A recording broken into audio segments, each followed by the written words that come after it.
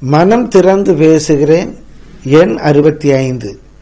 கிறிஸ்துவுக்குள் உங்கள் அன்பு போதகர் சகோதரன் நான் ராபர்ட் சைமன் நம்முடைய குடும்பம் நம்முடைய பணிகள் நம்முடைய ஊழியங்கள் நம்முடைய நட்புகள் உறவுகள் எல்லாமே ஞானத்தினால கட்டப்படும்.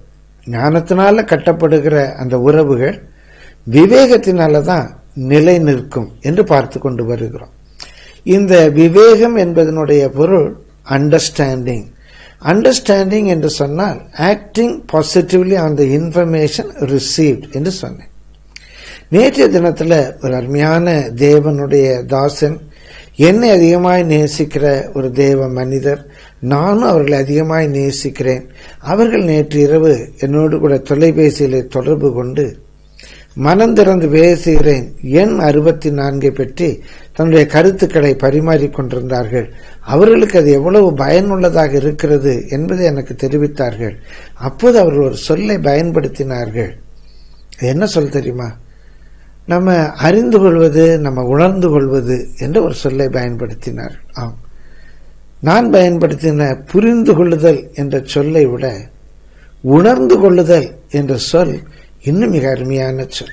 நம்முடைய வேதாகமத்தில் அண்டர்ஸ்டாண்டிங் என்பதற்கு சில இடங்களிலே உணர்வு உணர்ந்து கொள்ளுதல் உணர்வு என்றுதான் மொழிபெயர்க்கப்பட்டிருக்கிறது. உணர்வின் ஆவி ஸ்பிரிட் ஆஃப் அண்டர்ஸ்டாண்டிங் உணர்வில்லாததுனால என்னுடைய ஜனம் சீர்கட்டு போகிறார்கள் என்று சொல்லுகிறார். உணர்வில்லாதது என்று சொன்னால் அண்டர்ஸ்டாண்ட் பண்ணாதனால ஒருவரை ஒருவர் அண்டர்ஸ்டாண்ட் பண்ணாதனால உணர்ந்து கொள்ளாததினால. அதனால் இந்த விவேகம் இந்த அண்டர்ஸ்டாண்டிங் என்பது வெறும் புரிந்து கொள்வதல்ல உணர்வு சம்பந்தப்பட்டது. பிரியமானவர்களே கத்துடைய பரிசுத்த நாமத்துக்கு மகிமை உண்டாவது நம்முடைய உணர்வுகள் எப்படி இருக்கு? ஒரு சின்ன எடுத்துக்காட்டு மீண்டுமாக இதை விளக்குவதற்கு எப்படியாக நம்முடைய குடும்பங்கள் ஆசீர்வதிக்கப்படும் கணவன் பணித்தளத்திலிருந்து வருகிறான்.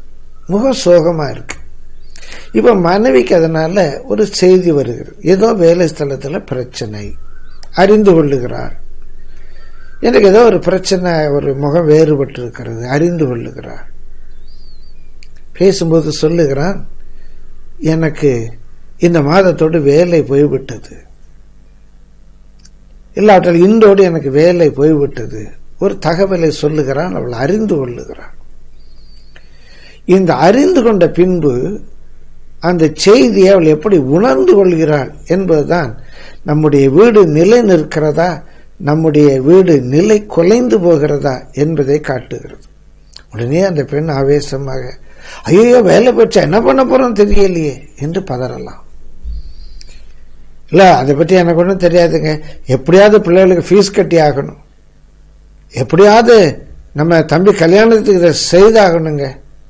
எப்படியாவது நம்ம இந்த பொருளை வாங்கி தான் ஆகணுங்க. என்ன எப்படியாவது என்ன நீ என்ன செய்வீங்களோ தெரியாதுங்க.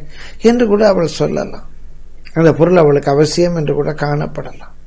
பிரியமானவர்களே இப்போ அவளுக்கு கிடைத்த தகவல் கணவன் வேலை இழந்து போனார்.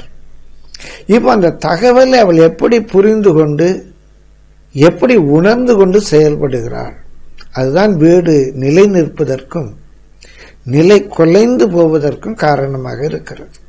பிரியமானவர்களே முன்பு ஒரு கணவன் மீன் வாங்கி கொண்டு வருகிறார். புரிந்து கொள்ள முடியாமல் போதை கொடுத்து பார்த்தோம். இங்கே ஒரு வேளை அப்படியானால் இந்த பெண் என்ன சொல்லலாம்? பரவாயில்லப்பா கவலைப்படாதீங்க. ஜோம் பண்ணுவோம் கர்த்தர் ஒரு வழியை திறப்பார். நம்ம ரெண்டு பேரும் கரம் பிடித்து ஜோம் பண்ணுவோம்ப்பா கர்த்தர் கைவிடவே மாட்டார். அவரை நம்புகிறவர்களே கர்த்தர் அறிந்திருக்கிறார். இப்படி சில வார்த்தைகள் அந்த பெண் சொல்லும்போது அந்த சூழ்நிலையிலே அவள் உணர்ந்து செயல்படுகிறாள். கணவனுடைய அந்த நிலை அவர் உணர்ந்து கொள்கிறாள். பிரியமானவர்களை கர்த்தருடைய பரிசுத்த நாமத்துக்கு மகிமை உண்டாவதாக நேற்று அந்த அருமையான தேவனுடைய தாசனோடு பேசும்போது இந்த சொல் என்னுடைய உள்ளத்தில் ஆழமாய்ப்பட்டது. கணவன் மனைவி எப்படி புரிந்து கொள்ள வேண்டும்? மனைவி கணவன் எப்படி புரிந்து கொள்ள வேண்டும் என்ற ஒரு நிலைக்குள்ளாக கடந்து போவதற்கு முன்பாக இன்றைக்கு இந்த சொல் வேறுபாட்டை உங்களுக்கு கோடிட்டு காட்ட விரும்பினேன். பிரியமானவர்களே நம்முடைய வீடு குடும்பம் உறவு நட்புகள் நிலைத்து நிற்க வேண்டும் என்று சொன்னார். வெறுமனே அந்த தகவல்களை அறிந்து கொண்டால் போதாது. புரிந்து கொள்ளுகிறோம் என்று கூட அல்ல உணர்ந்து கொள்ள வேண்டும். அதை எப்படி நம்ம ஃபீல் பண்ணுறோம் பிரியமால் அதில் தான் உண்மையான அண்டர்ஸ்டாண்டிங் இருக்கிறது. அப்படிப்பட்ட உணர்வை தருகிற ஒரு நல்ல ஆவி. நம்ம ஏசாயில் வாசிக்கிறோம் கத்தருடைய ஆவி ஞானத்தின் ஆவி. கத்தருடைய ஆவி உணர்வை அருளுகிற ஆவி. இந்த ஆவினால கர்த்தர் நம்மை நிரப்பும்படியாக நம்ம ஜெபம் பண்ணுவோமா? கணவன் மனைவி மனைவி கணவன் ஒருவரை புரிந்து கொள்வதை குறித்து கர்த்தர் சித்தமானால் இன்னொரு காணொளி காட்சியிலே தொடருகிறேன். இந்த சொல்லாடல் மிக பயனுள்ளதாக எனக்கு காணப்பட்டது. உங்களோடு கூட பகிர்ந்திருக்கிறேன். பிரியமானவர்களே உங்கள் ஒவ்வொரு சூழ்நிலையிலே மற்றவர்களை குறித்த தகவல்களை அறிந்து கொள்வதல்ல உணர்வுகளை அறிந்து கொள்ளுங்கள். அந்த தகவலின் அடிப்படையிலே நீங்கள் எப்படி உணர்ந்து அதை செயல்படுகிறீர்களோ அதான் நம்முடைய வீடு நிலை நிற்பதற்கு காரணமாக இருக்கிறது. ஜோமனோமா எங்கள் ஜீவனை இறக்கமல்ல தேவாதிபதி. ஆண்டவரே உணர்வுள்ள ஆவியங்களுக்கு தாருங்க ஆண்டவரே. எங்கள் குடும்பம் நிலைத்து நிற்க. எங்களுடைய உறவுகள் நிலைத்து நிற்க ஐயா. ஆண்டவரே உணர்வோடு செயல்பட எங்களுக்கு உதவி செய்யும். உணர்வோடு செயல்பட எங்களுக்கு உதவி செய்யும் ஆண்டவரே. உமக்கு நன்றி. உமக்கு நன்றி. உமக்கு நன்றி உமக்கு நன்றி.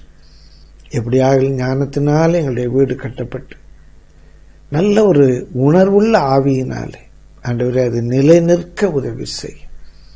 ஆண்டவரே உணர்வில்லாமையினால் என் ஜனம் சீரழிந்து போகிறார்கள் என்று பார்க்கிறோம்.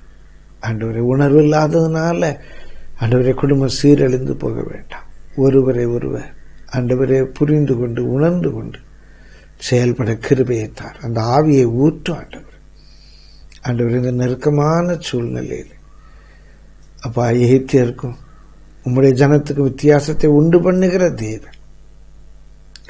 உம்முடைய பிள்ளைகளுடைய குடும்பங்கள்ல தெய்வீக சமாதானத்தை இந்த அன்பை இந்த அண்டர்ஸ்டாண்டிங்கை கட்டளையிட்டு வேறுபாட்டை வெளிப்படுத்தும் ஆண்டவர். இயேசுவின் நாமத்தில் பிதாவே. ஆமே ஆமீன். கத்துடைய பரிசுத்த நாமத்துக்கு மகிமை உண்டாவதாக அருமையான அந்த தேவதாசன் மூலமாய் கத்திரனை கொடுத்த இந்த ஒரு சொல்லாடலுக்காகவும் நான் கத்தரை ஸ்தோத்திருக்கிறேன். இன்னும் அதனுடைய ஆழத்தை புரிந்து கொள்ளுங்கள்.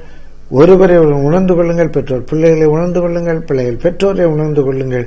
உங்கள் வீடு கண்டிப்பாக நிலை நிற்கும் கத்தவங்களை யாவரையும் ஆசீர்வதிப்பாராக. தேவ சமாதானம் உங்களோடு கூட இருப்பதாக கத்துடைய கிருபை உங்கள் அனைவரோடும் கூட இருப்பதாக. கச்சித்தமானால் இன்னொரு காணொலி காட்சியிலே நான் உங்களை சந்திக்கிறேன். அது மட்டுமாக கர்த்தர் நம்மோடு இருந்து வழி நடத்துவாராக. ஆமீன்.